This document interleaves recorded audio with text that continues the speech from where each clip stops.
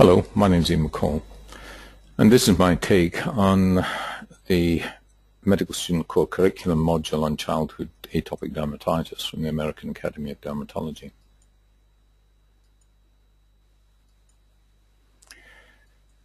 Basically, after completing this module, the learner will be able to identify and describe the morphology of atopic dermatitis. Morphology means what does it look like? Basically, it's a red scaly disease, and in any dermatitic process, you've usually got some small erosions. In other words, there's small erosions in the surface from which fluid may come out. This is part of the spongiotic fluid, the fluid that's between the cells of the epidermis in any dermatitic or eczematous process. Recognize that superficial infections often complicate atopic dermatitis. Indeed, they do. Uh, staph infection is certainly the most prominent thing. And the other thing that can sometimes complicate atopic dermatitis is superinfection with herpes virus. Recommend an initial treatment plan for a child with atopic dermatitis. Well, that's important because we can't cure this condition. We can control it.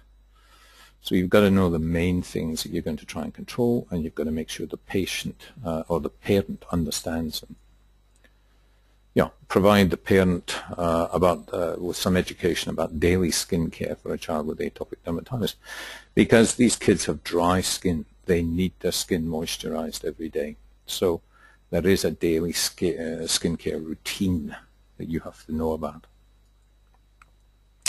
Determine when to refer a patient with atopic dermatitis to a dermatologist.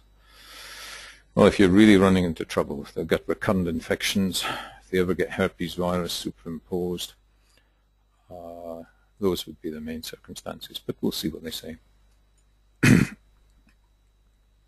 the first case is a 10-month-old girl, itchy red rash for the last seven months. So it started when she was about three months of age, which is common with atopic dermatitis. The rash waxes and wanes, as it always does. It's involving her face. It's always more difficult when it's involving a face. You can't avoid it. Carlin's bath daily using normal soap. Now, all soaps are uh, degreasing agents. So, you know, if you're using just a, a, common soap or tar soaps, they're all degreasing agents. And a kid with atopic dermatitis already has problems with dry skin, so you don't want to degrease them. Sometimes they use moisturizing lotion if their skin appears dry. Lotions are never the best. You're usually better with creams or ointments. They recently introduced peas into our diet. I wonder whether this may be contributing to the rash. Well, dietary factors seldom play a big part. We'll come into that. Normal birth history, healthy, aside from an episode of uh, wheezing, five months of age. You want to know the circumstances. She's starting to develop a bit of asthma. Might have just been viral. No medications, no allergies known. This is the important bit, the family history. The mother has asthma and allergic rhinitis. If both parents have manifestations of atopy, by atopy we mean asthma, eczema and hay fever. But if both parents have it, you can rest assured the child's going to get problems.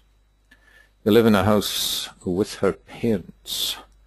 Uh, no pets, that's important. Cats, horses, particular source of uh, allergens in children with atopic dermatitis. Itches all night. Well, that's really a problem. When they're itching, they're not sleeping, and that usually means the parents aren't sleeping as well. So it's a common reason for parents to bring the child. How would you describe a skin exam? Well, it's a red scaly rash. You can see the little erosions here. If you look carefully, there may even be slight crusts where, you know, there's been exudation, it's dried up in the surface of the skin. Whenever you've got skin broken like this with crusts, you're almost certainly going to get a bit of secondary infection there as well. Area around the mouth is spared, it's mainly the cheeks. They're saying erythematous ill-defined plaques. Okay, a patch is flat, a plaque is raised and has some thickness associated with it with overlying scale and crust. I would have mentioned about these little erosions here too. What elements in the history are important? to ask in this case? Does she scratch or rub her skin? Well, you're certainly going to ask that. She almost certainly does. Does the rash keep her awake at night? That's important. It's functionally important with any atopic to know if that's the case. If, if they don't sleep properly, they get stressed and it makes their skin worse. Which moisturizers are used and where? Yeah, you want to know what someone's putting on and you want to know if when they're putting it on and where they're putting it should be all over. So the correct answer to this is going to be all of the above. okay. What's the most likely diagnosis given the history and skin exam findings? Well, we've got the kid starting with this at the age of three. It's chronic. We've got the mother who's atopic. We've got the kid itching all the time and keeping awake at night. So atopic dermatitis is by far the likeliest diagnosis. Contact dermatitis, well, if, if a rash is just localized to one area, you always have to think of a contact dermatitis. And occasionally in atopics, you'll get an element of contact on the face um, if they're reacting to certain foods, but it's often circumoral as well. Could it be psoriasis? You don't get psoriasis much in the face. It's the wrong distribution. Scabies? Again, you don't get scabies in the face. Very, very young children, you might. Immunosuppressed patients, you will. But uh, you don't normally get scabies in the face. Seborrheic dermatitis, you certainly get that in the face but it's usually in the nasolabial folds, eyebrows, just in the, the root of the nose, and it's a fine greasy scale. It's not like that. Um, 10-month-old with sebderm, um, usually they'd have it younger than that. They'd usually have it in the scalp, they'd have cradle cap and all the rest. So, in essence, the diagnosis is atopic dermatitis. So, yeah. Which of the following statements supports the diagnosis of atopic dermatitis? Chronic nature of the rash certainly does. Distribution? They'll uh, probably go into this aspect of distribution. Distribution varies a little bit with age. Often in young children it is on the face. Sometimes at the antecubital fossa and behind the knees as well, though that's more common in adolescence. Family history of atopic disease? Yep. Symptoms of pruritus, yep, so the correct answer is all of the above. So they're saying the basics. It's a chronic pruritic inflammatory skin disease with a wide range of severity. Indeed it is. It is chronic. Um, certainly itchy. There's a varying degree of inflammation. And the severity ranges dramatically. You can have some people with just a little bit at the front of the elbows and behind the knees others uh, presenting with a red, irritated skin all over, often with chronic oozing, and uh, they can be sorely afflicted by it. It's one of the most common skin disorders in developed countries, up to 20% of children. That's changed dramatically in the last few years, and there's a few reasons for that. It used to be about 5%, but it's now up to about 20%, and it's related to the way in which we mollycoddle and protect children and don't expose them to allergens. Their immune system doesn't develop normally. They develop in, uh, in such a form as to get hypersensitivity reactions. Kids really should get exposed to bacteria and various other things early on for their immune system to develop normally. But note that only 1 to 3% of adults have atopic dermatitis, which suggests that it's going to get better. I'm surprised at that figure. I thought it would have been higher. You know, often in adults, it's going to present as a hand dermatitis um, because there's a disorder of barrier function in atopic dermatitis. They don't have a normal barrier function. The stratum corneum is abnormal. So their skin tends to dry out and the skin's hyperirritable. And adults, when they're doing a lot of wet work, uh, mothers with young children or people employed as mechanics and the like and using degreasers in their hand, if they've had any tendency to atopic uh, dermatitis when they were younger, that's when it's going to come out again. So I think the figure probably is a bit higher than that. In most patients, atopic dermatitis develops before the age of five. That's true. In fact, it often develops in the first year of life. I think 30% of them will. And typically clears by adolescence. All right. It often gets better around puberty, um, whether that's related to you know, the onset of uh, hormones and grease gland function, the skin is less dry. I'm not sure. Then it tends to flare again in late, um, late teenage years. Primary symptom is pruritus. That's true. The main issue with atopic dermatitis is itch. The skin itches. And then they rub and scratch it. And it's that rubbing and scratching that induces a lot of the changes that you see in atopic dermatitis. Um, you can excoriate the skin. If you rub skin hard over a period of time, it lichenifies, it thickens. You see prominent skin surface markings in lichenified skin. So some people will get that, front of the legs, um, behind the neck. What else? Atopic dermatitis is often called the itch that rashes. Yeah, that's what they mean. It's the rubbing and scratching that induces a lot of the changes scratching to relieve atopic dermatitis associated with itch gives the scratch cycle. Yep, that's when you get lichen simplex chronicus, uh, that thickened skin that you tend to get in the front of the shins. You see that more in adults actually than you do in children. Patients experience periods of remission and exacerbation. Yeah, it waxes and wanes just in, as in the history of uh, this child. So that's one of the problems about patients thinking that something they've just put on is important in getting it better or some dietary alteration that they've made um, seems to have made it better. It may just be part of that waxing and waning that's uh, so common in this condition. Clinical findings. Lesions begin as erythematous papules, coalesce to form erythematous plaques, may display weeping, crusting, or scale. Remember that weeping is due to the spongiosis, the separation by fluid of the cells of the keratinocytes and epidermis. And if those little fluid things join up, they'll weep on the surface. On the hands, for instance, where the skin's very thick, where the stratum corneum is very thick, sometimes the little fluid vesicles can't break out onto the surface, so you see them as uh, like tapioca pudding, little clear vesicles under the skin. Very itchy though. Overlying layer of skin in the hands then will just peel for certain.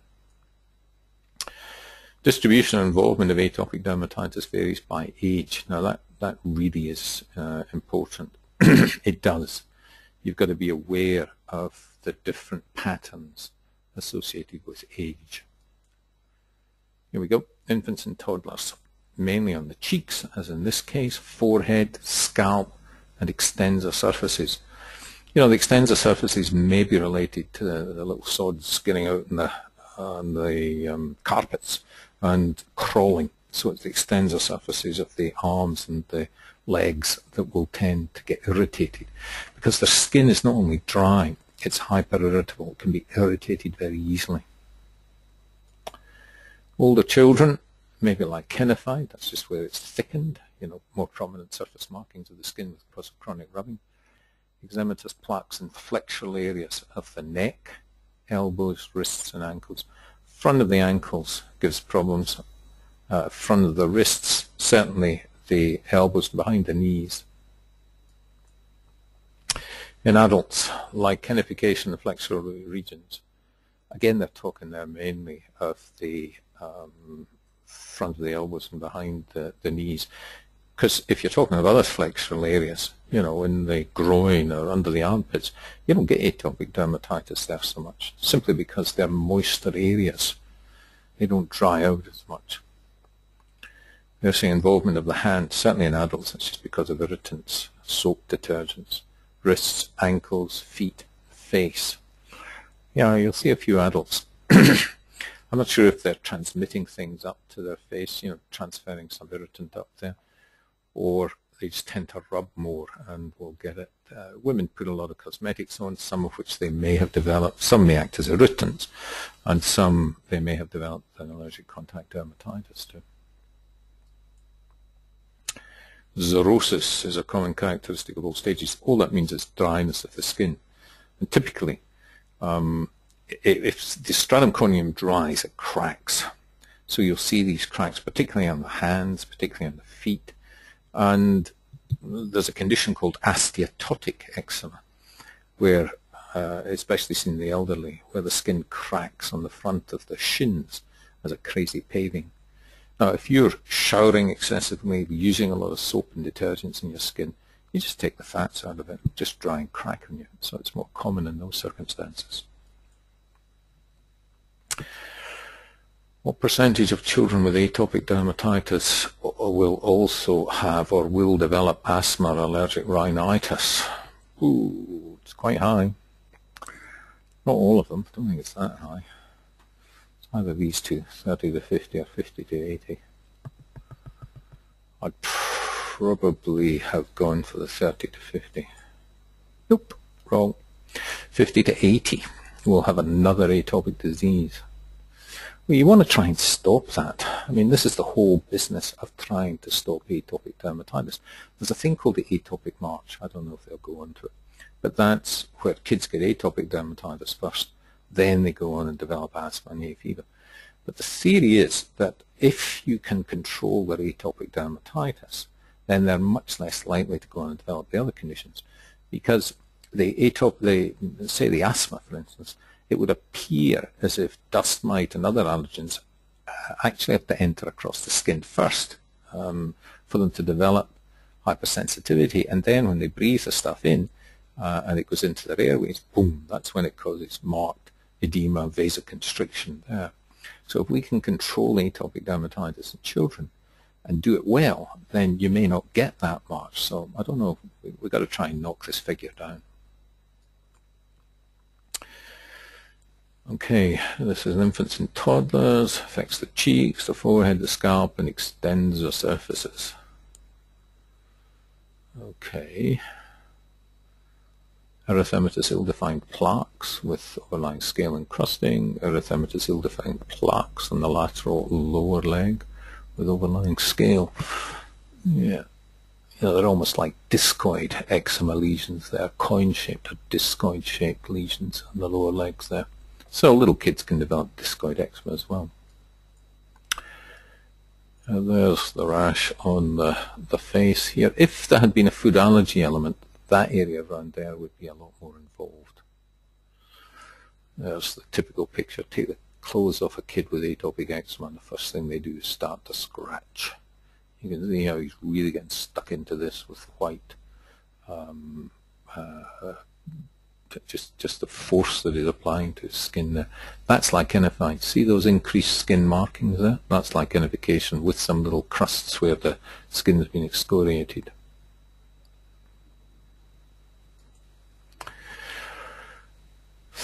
Older children affects the flexural areas of the neck, elbows, knees, wrists and ankles. Yeah, typically behind here and here. May not see that as much in young children. Um, there's a fair degree of overlap, obviously. So like lichenified erythematous plaques behind the knees, erythematous excoriated papules with overlying crust in the antecubital fossa. You know, whenever you get crusts and the like like that, I usually uh, associate that with secondary staph infection. Look at it carefully and see if there are any little pustules and the like. Might have expected a bit more actually if uh, if that was truly infected.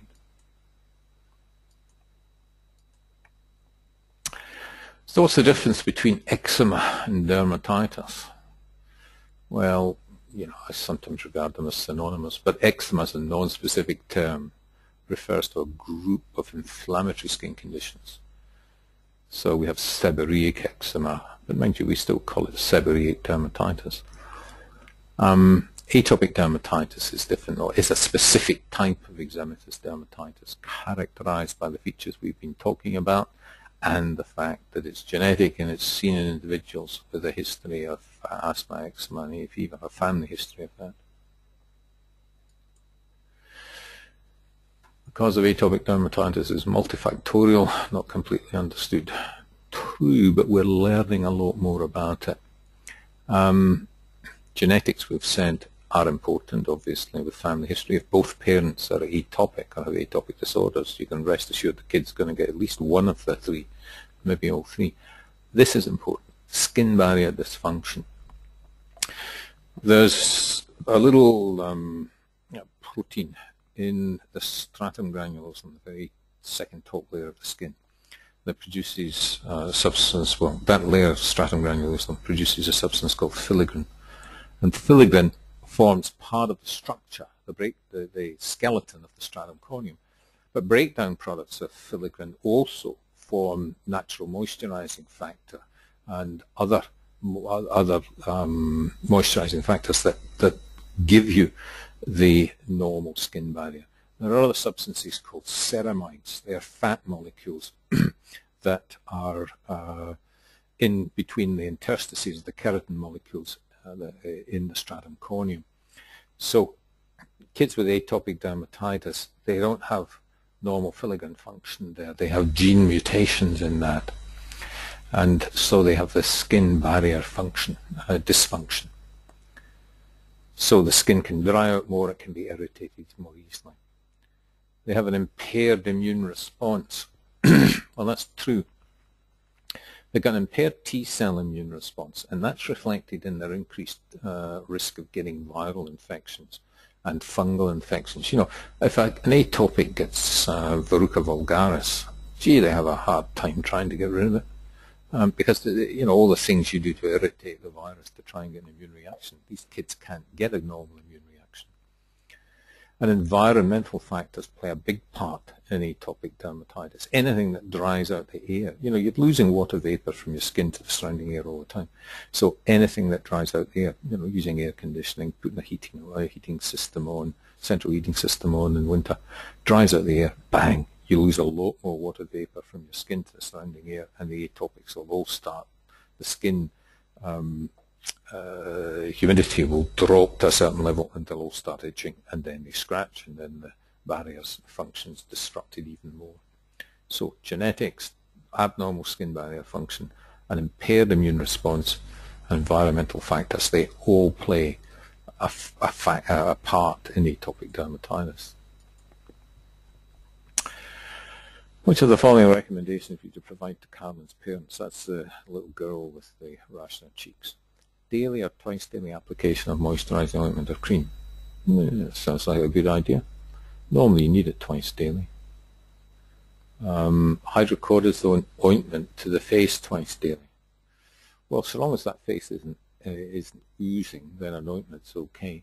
Here in Australia, we only have 1% hydrocortisone. So uh, this 2.5% uh, is fine. Apply it twice daily. Yep. Hydroxyzine, it's an antihistamine at bedtime. Well, all right, you're basically using that just as a sedative. I mean, the itch in atopic dermatitis, if you actually analyze it, um, it's now thought that really um, histamine doesn't play a big part in this itch at all. There's a whole variety of other factors that are involved in it.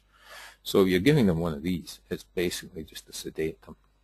I don't think it plays a big part in handling the itch at all. A mild cleanser as little as needed to remove dirt.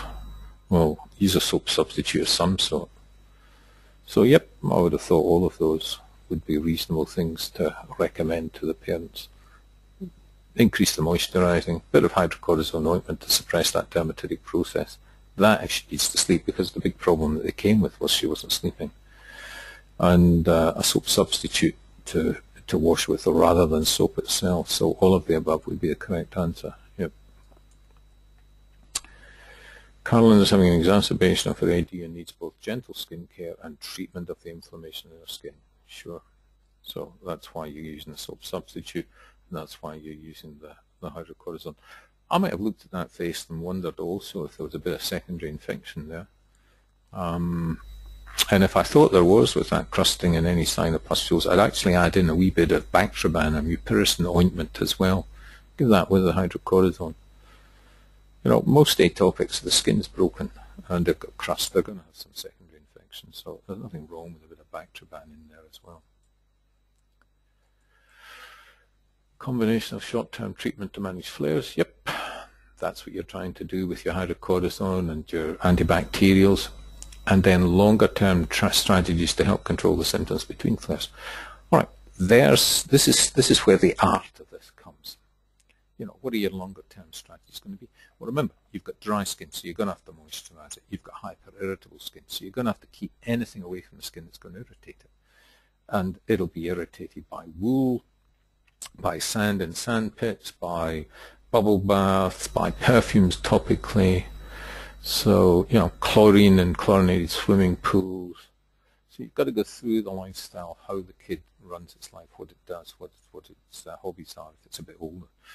Um, and go over all of this with a mother and try and see where the, the uh, other potential exposure to irritants are that are going to keep the skin flared. Recommend gentle skin care. You know, you don't need uh, soap to wash. You can uh, have relatively short uh, showers or short baths anyway. Do you put an oil in there? You know, there's things like Alpha Keri bath oil and various others. You can. There's, I've got no problems with that. You can then bring them out and uh, pat them dry and get your moisturizer on. You've got to get your moisturizer on straight away, within two or three minutes, or else the skin tends to dry out. Tepid baths without washcloths or brushes. You don't need it too hot. Don't rub them too much. Certainly don't use brushes on them. Mild soaps, well, I'd use soap substitutes. You know, they talk of Dove soap and uh, the like as a mild soap, but honestly, I'd use other soap substitutes, Cetaphil soap substitutes, QV soap substitutes. Pat them dry here. Don't rub them, pat them dry. Then use an emollient. Um, eh, you know, petrolatum's quite thick. Uh, you're not going to use that if they've got awfully, awfully dry skin. I, as far as moisturizers go, um, glycerin and sorbolene has a lot going for it. You just got to get one that doesn't have propylene glycol in it. It's going to irritate them. Um, some of the uh, um, the, sorry, I'm just having a mental block there just now. The Aveeno, the oatmeal type preparations, or Dermaveen, they're quite useful moisturizers as well. QV produce a, a wide variety of moisturizers.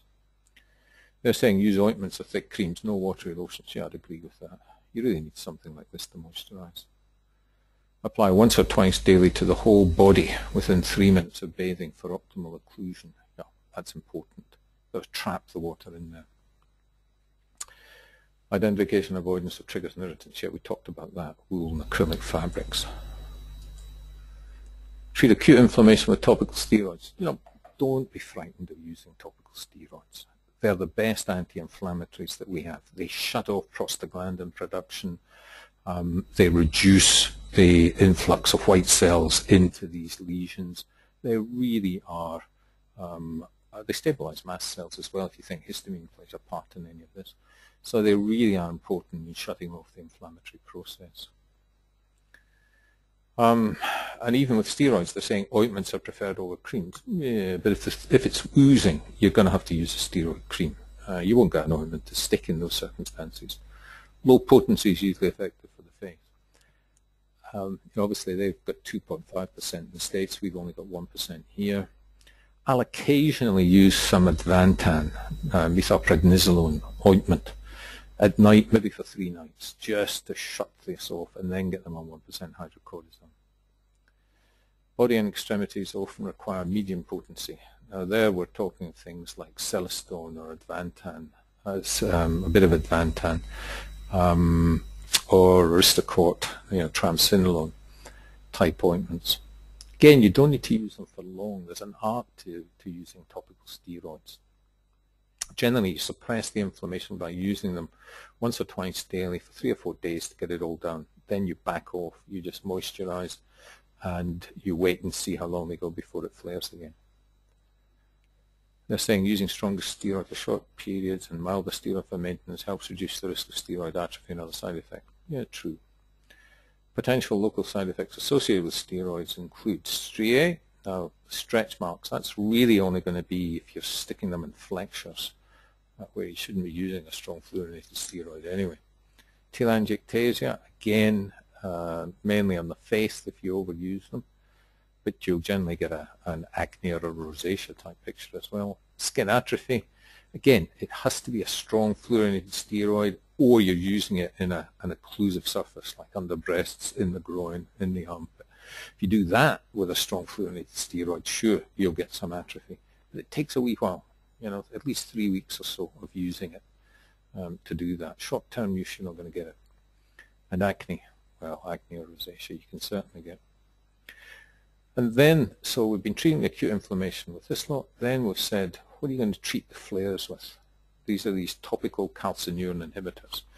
They go by the name of um, pimecrolimus and tacrolimus.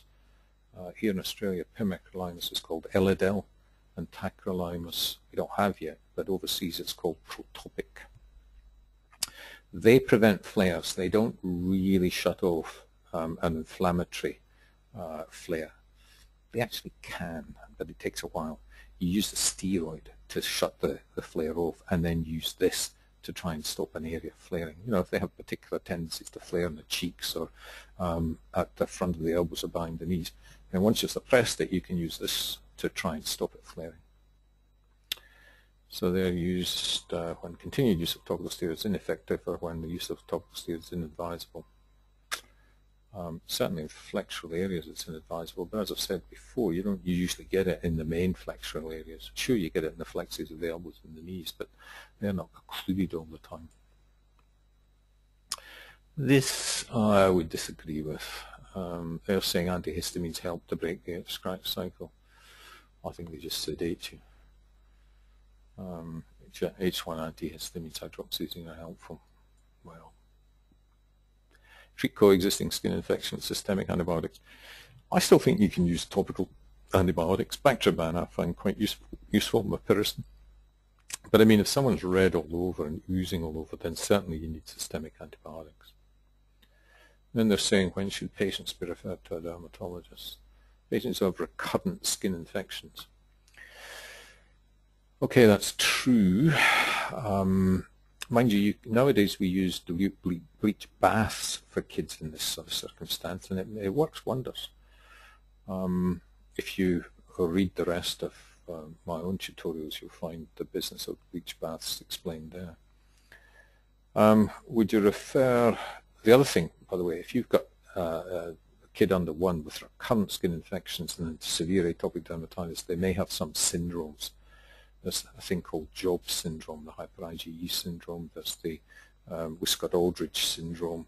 There's a few others where uh, recurrent skin infections occur in association with atopic dermatitis. Oops, go back. Refer patients who have extensive and or severe disease. Well, fair enough. If you're having trouble trying to manage it, then certainly refer them.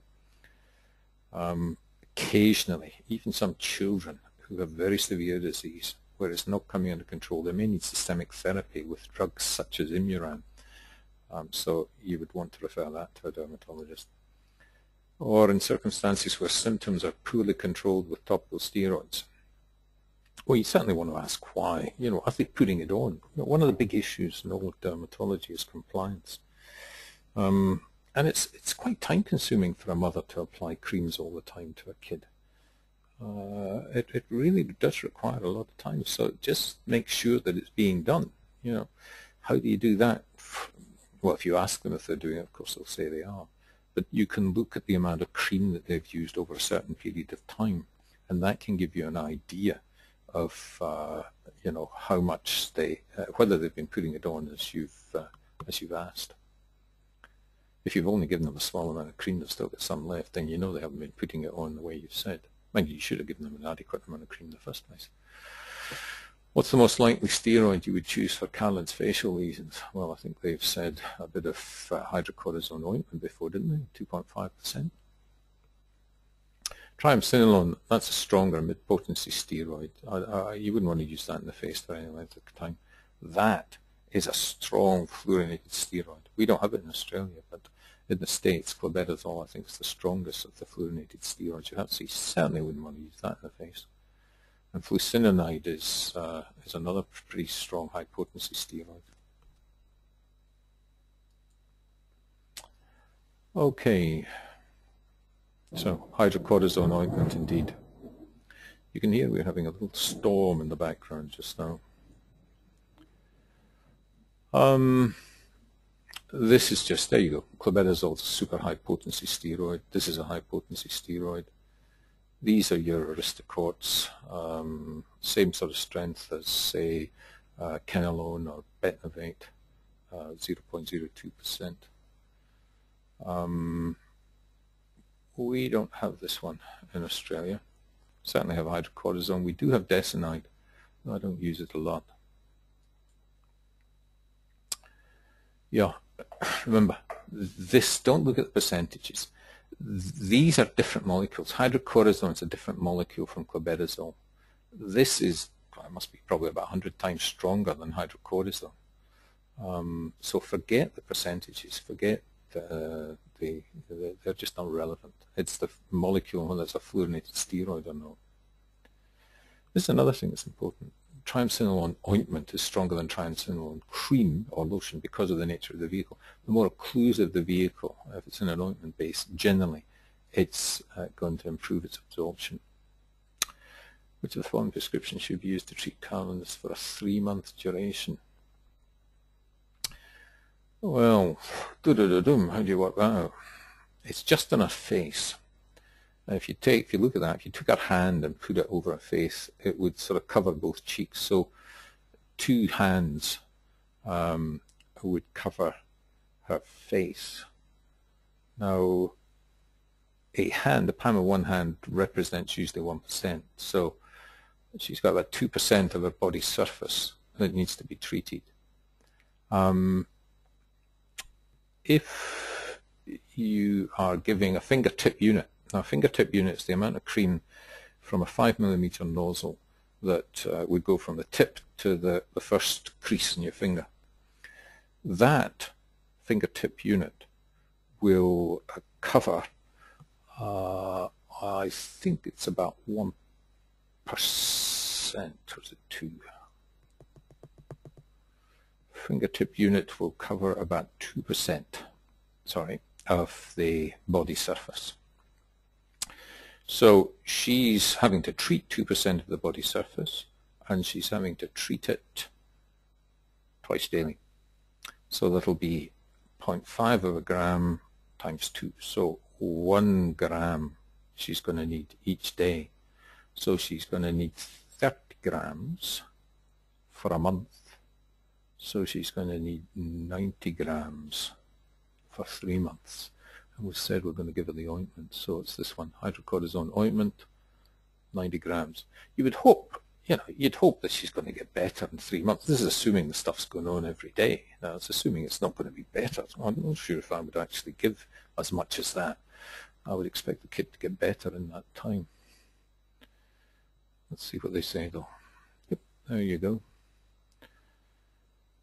2% of the uh, body surface area uh, equals 30 grams for one month. So they're saying 90 grams.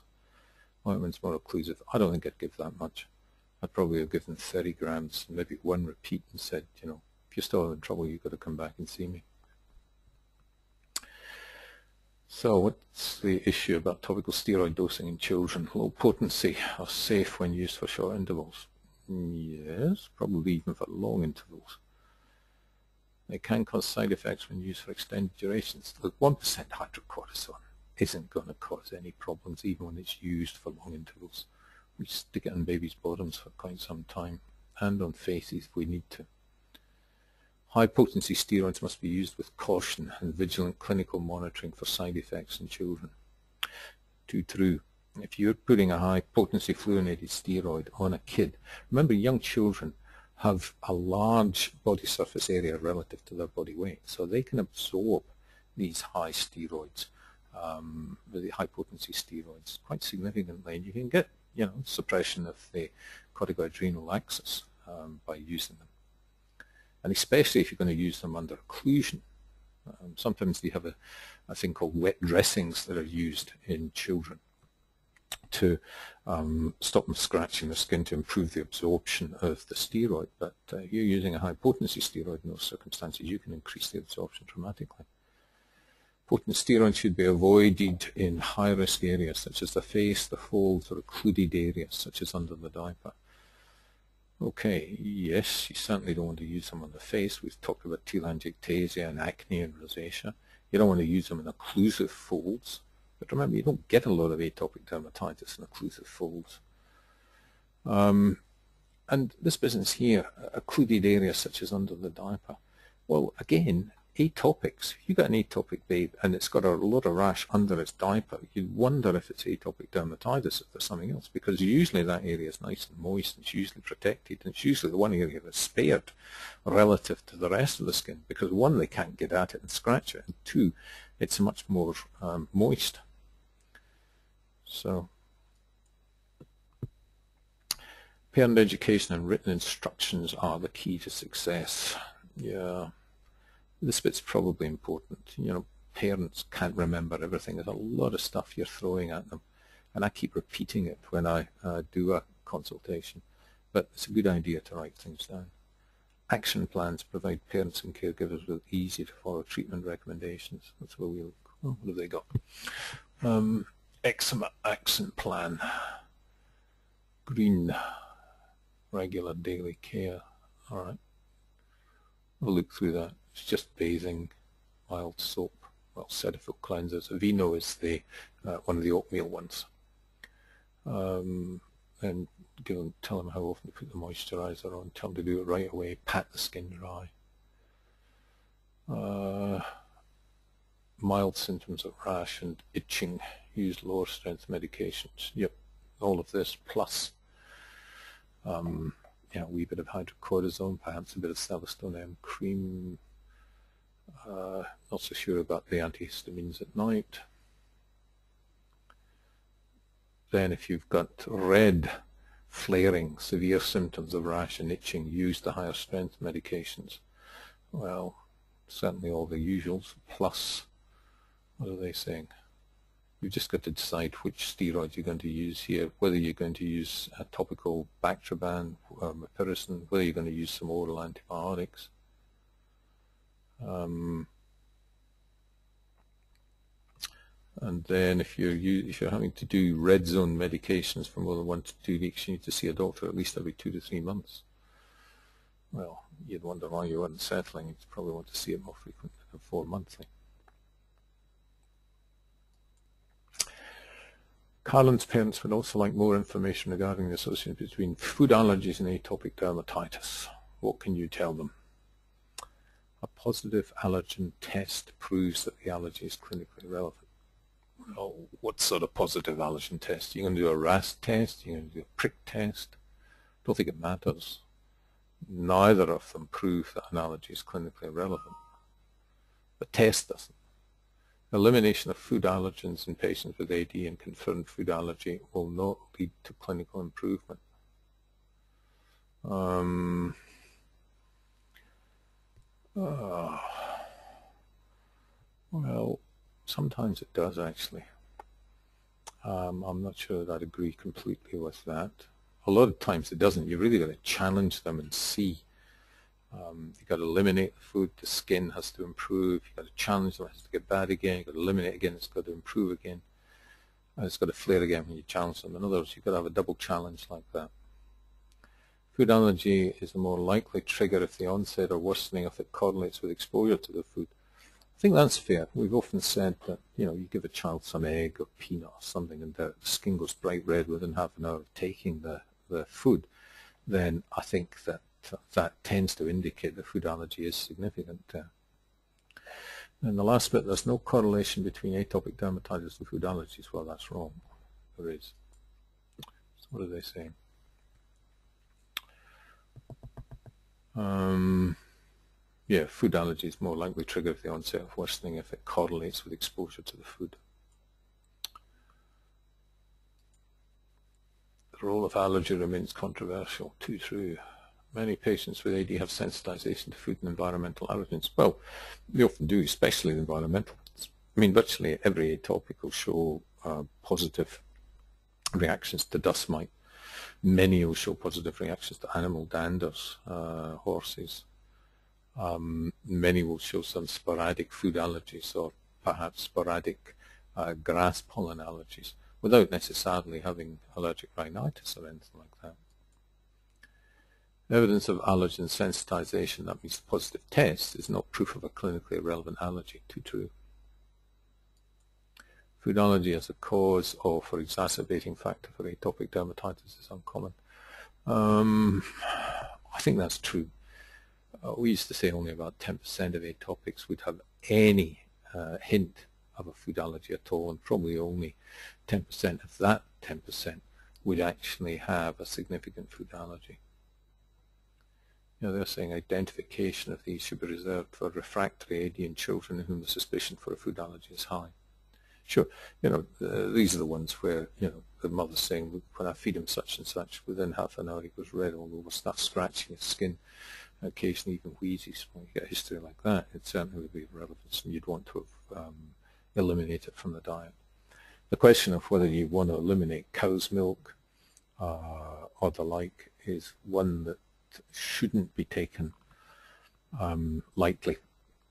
You've got to have good evidence that that's the case before you take a child off some of its basic foods. Infants with AD and food allergy may have additional findings that suggest the presence of food allergy, such as vomiting. Right, if it goes red all over and vomits, has diarrhea. And if there's failure to thrive, you know, if they're getting diarrhea, they're vomiting, the child just isn't thriving, then Sure, in those circumstances, food allergy, mind you, may not be food allergy. The kid may have lactose intolerance or something like that.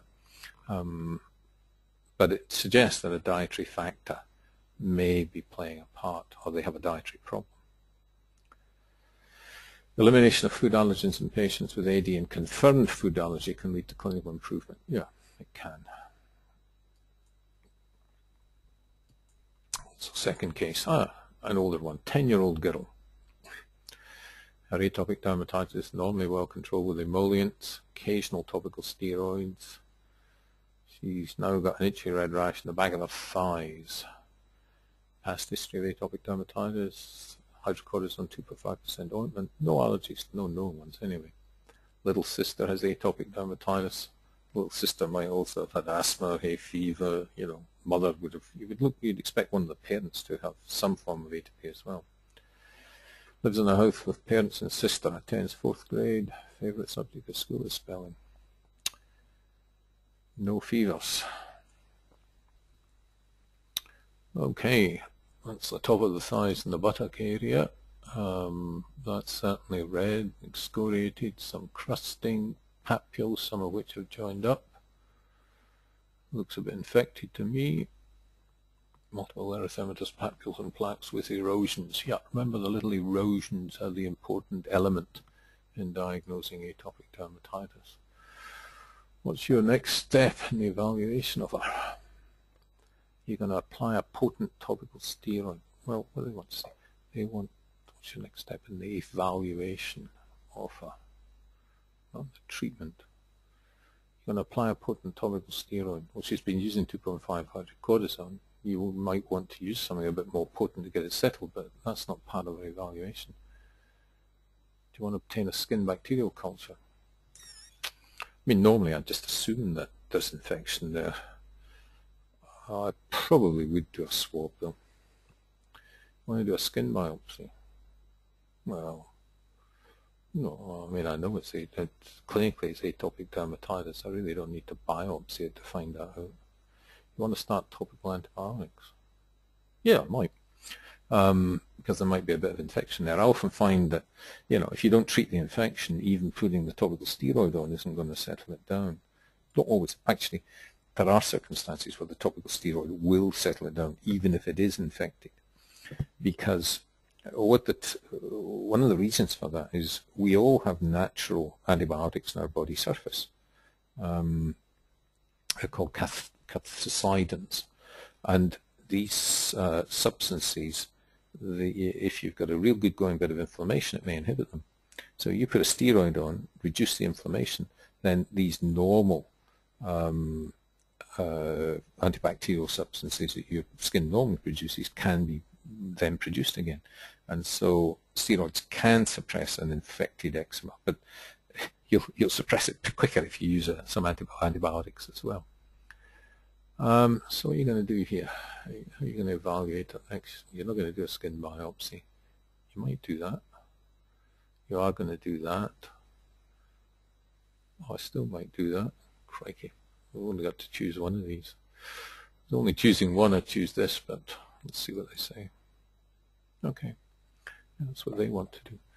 They're saying just want help with evaluation. I agree with that.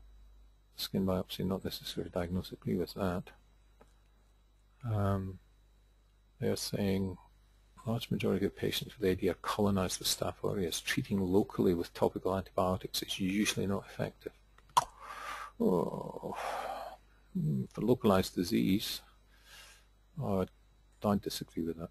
I think sometimes using mupirocin, Bactroban topically will deal with localized flares of atopic dermatitis without sticking them all on antibiotics. Kids react to antibiotics. Um, they may not take the whole course. Give them systemic antibiotics, they're more likely to get antibiotics um, resistance. So mm, I think if it's localized disease, I think I would use localized therapy. Skin bacterial culture should be considered during hyperacute weepy flares of AD and when pustules or extensive yellow crusts are present. You're going to grow staph. It's just a question of occasionally you'll get um, some kids with an MRSA, either the you know, multiple resistant, methicillin resistant staphylococcus, either the community type or, heaven forbid, if they've been in hospital, the, the more aggressive hospital type. You don't want that.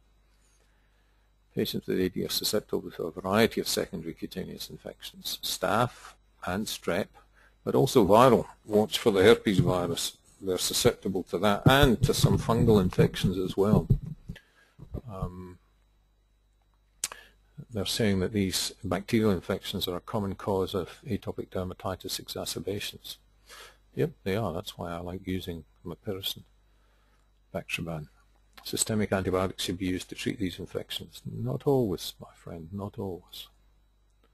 Ooh, no, there's a good going. Look at all the crusts there, how red that is. Um, there's oozing from all of this. That is a good going bit of infection there. Um, would I use Bactroban just on that? I might, if it's just on the face. But, you know, if you're starting to get extensive involvement elsewhere, then certainly an oral antibiotic uh, would go more quickly. So some swabs, oral antibiotic, Let's see where you go.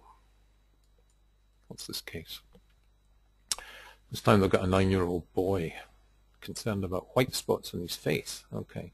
Mild asthma, no history of hospitalizations. What about eczema? Has he had any eczema before? Doesn't say so. Just says that he's got mild asthma. So he's possibly atopic. These will be for his uh, airway disease.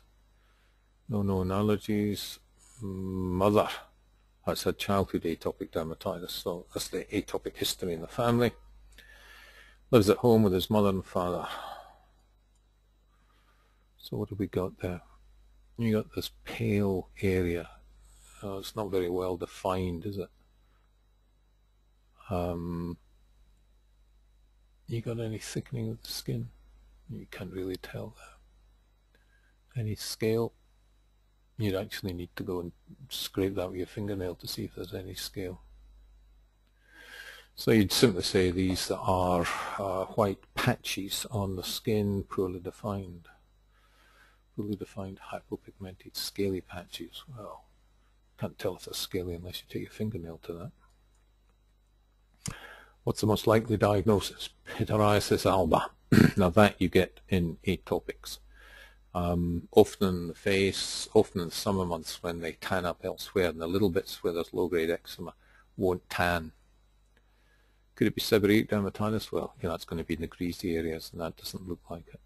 Tinea versicolor. That's a little yeast infection. And it also gets white spots in the sense that it interferes with the normal pigmentation process in the skin.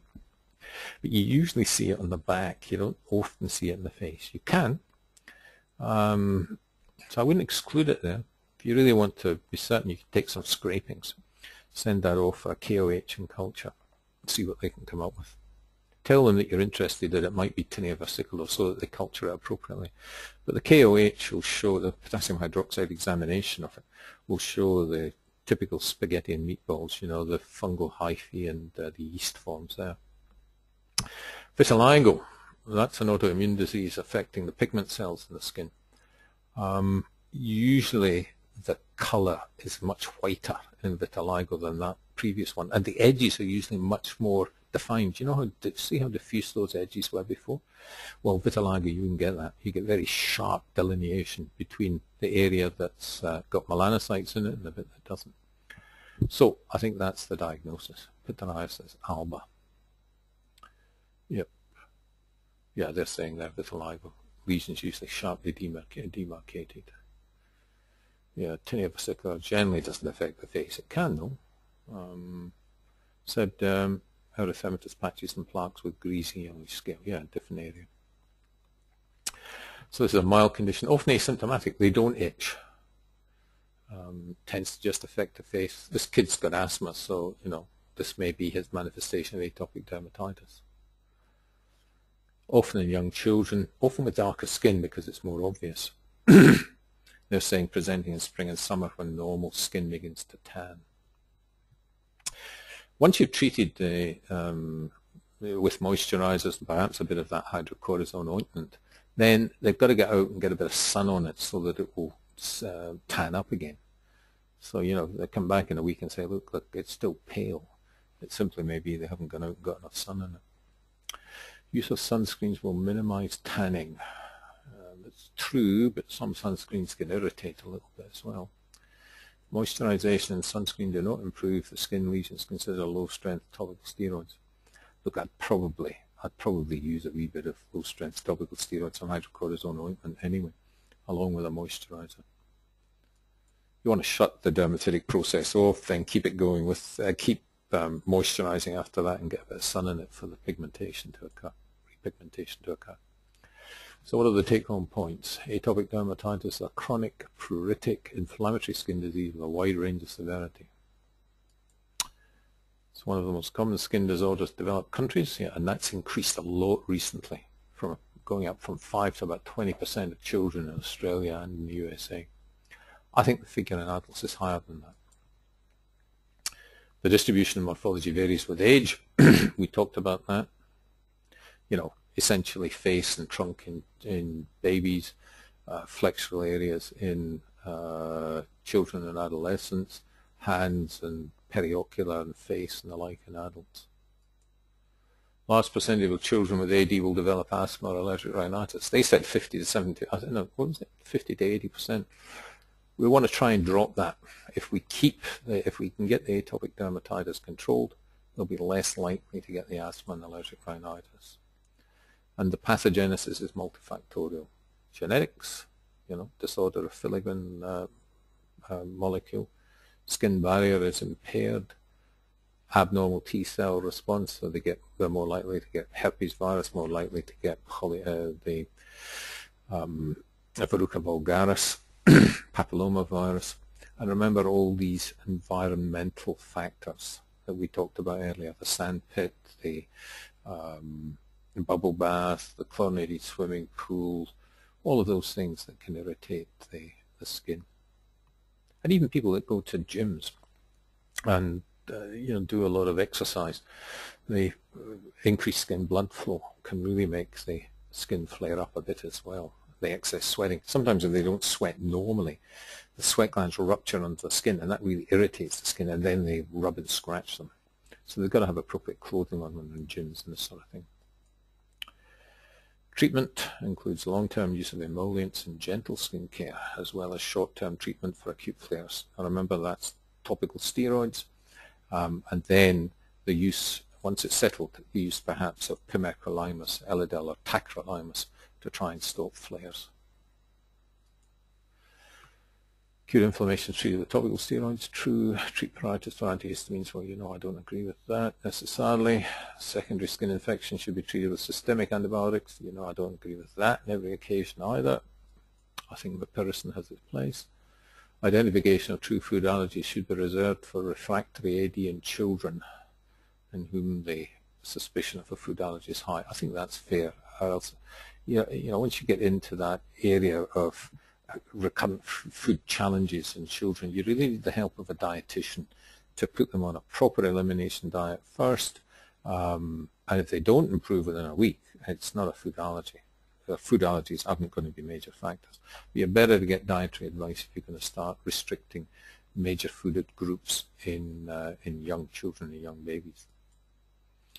Pityriasis alba is a mild, mild form of atopic dermatitis of the face in children. Yep, I'll accept that. Sunscreen emollients for the first line treatment. Well, not so sure about the sunscreen. Certainly the emollient, a little bit of 1% hydrocortisone, get some sun on it. reassure parents, uh, patients and parents that pityriasis alba will fade with time. Well, actually repigment with time, thank you. Okay, look, I hope you've enjoyed that. Um, there may be some elements of that that uh, you may not agree with. That's fine. Have a do some research on it. Have a little look, Google it. Uh, make your own mind up from the information that's uh, that's out there. So I'd particularly like to thank the American Academy of Dermatology for producing some of these uh, slides like this. It makes it much easier to give a little video like this or to make one when you've got this material available. Thank you very much.